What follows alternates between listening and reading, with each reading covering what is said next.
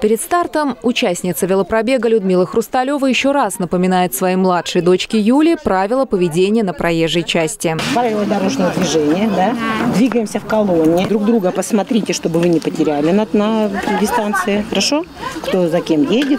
У Людмилы трое детей, и все они активно участвуют в различных спортивных мероприятиях. Большой праздник, а, день нашего флага российского. То есть мы тоже патриоты нашей Родины и хотим, чтобы дети наши знали историю нашей страны и уважали а, символы государственности. В уже ставшем традиционном заезде, который был посвящен государственному символу страны, приняли участие более 20 жителей деревни Калиновка.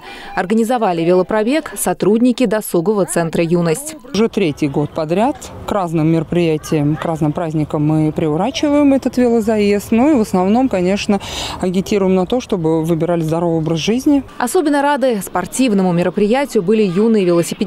Ведь это прекрасная возможность вновь встретиться с друзьями после длинных летних каникул. Мне мама сказала, то, что будет велозабег, и я приехала, хотела попробовать. Я часто катаюсь на велосипеде, потому что мы вот э, днем выезжаем с друзьями, катаемся. Пешком мы редко ходим.